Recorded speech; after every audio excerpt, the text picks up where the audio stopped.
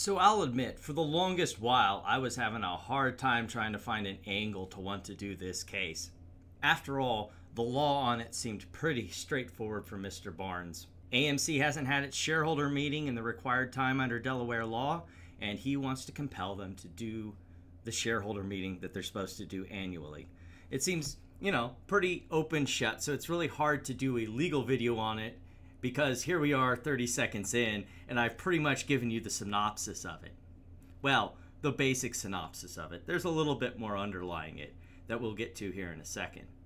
No, what's been far more interesting for me is the social dynamic surrounding this lawsuit. When it first came out, all the objectors didn't read past the headline. They just saw an AMC lawsuit and was immediately cheering on the litigation. Yeah, go get Adam Aron. You got him. Stick it to the company for not holding a shareholders meeting.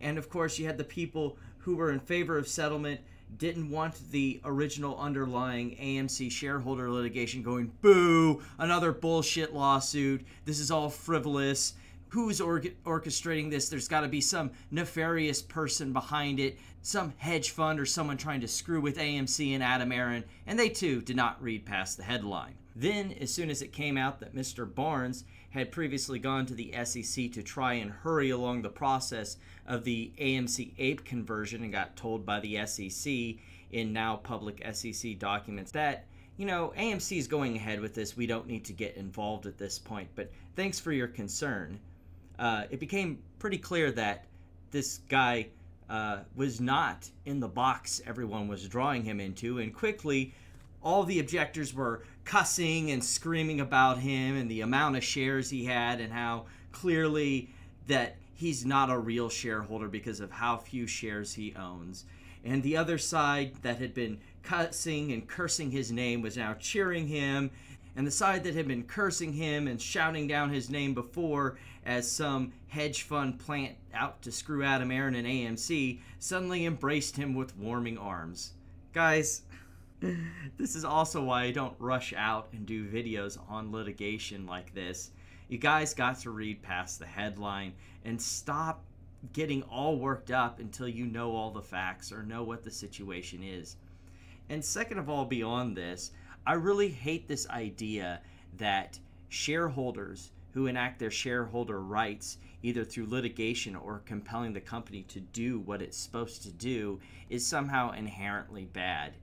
This like there's one thing I do like about the uh, meme stock movement, and that is this sort of civic duty that shareholders in the meme stock community have towards the company in which they participate in. They're actively involved and they want to participate, even though shareholders have a very limited avenue to participate in. But in the same token, you guys are a little too much extreme and, might I say, a little cultish when it comes to your preferred stock of choice. More so, this whole argument about how someone's not a real shareholder unless they have enough shares to qualify for whoever's speaking at the time I hate to be a softy moralist here, but to quote Mr. Deeds. Well, unfortunately for you, I bought one share of Blake Media this morning.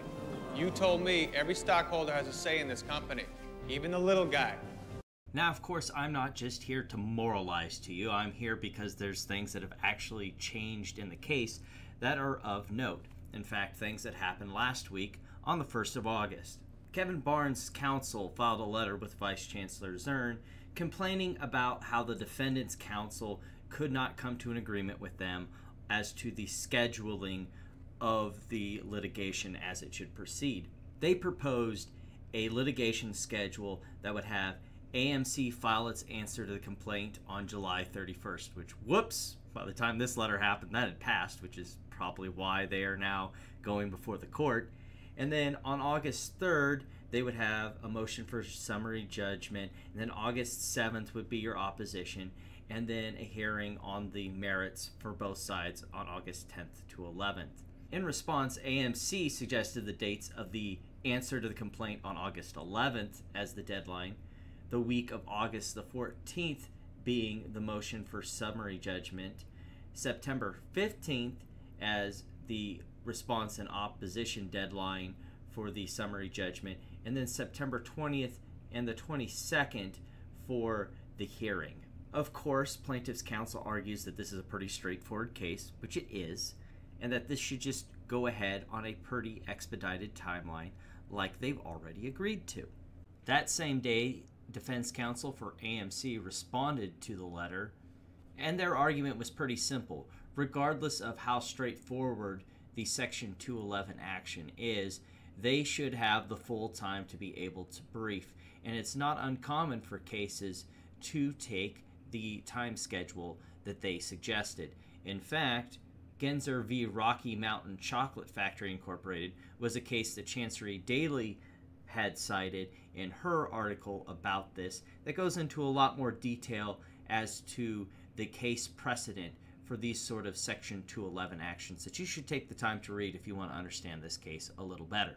Now, there has been quite a bit of commentary on the more or less loophole around the current shareholder litigation that is provided by this lawsuit vis a vis the new amendment to the Delaware General Corporate Law with the uh, tweaking of 242 to add 242D.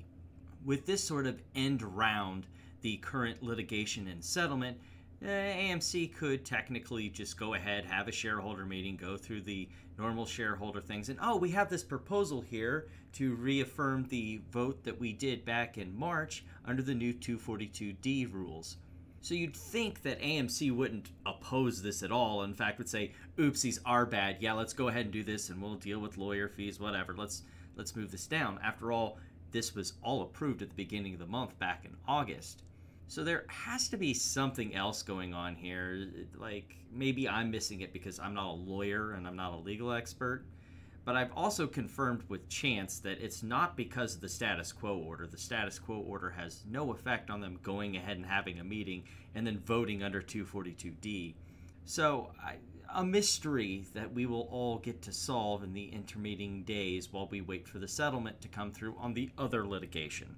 But that's all I have for right now, just a brief catch up on the Barnes litigation for the AMC shareholder meeting. Until next time, I'll catch you all later.